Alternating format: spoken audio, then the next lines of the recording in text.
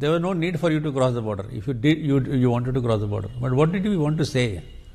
We said कि, you know, घुस के मारेंगे. That is exactly what we said.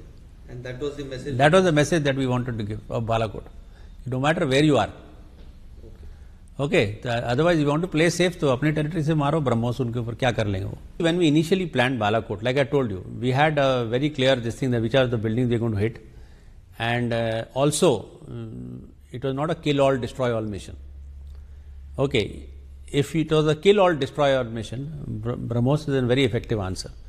Now you say why is BrahMos effective? Because first of all it is supersonic.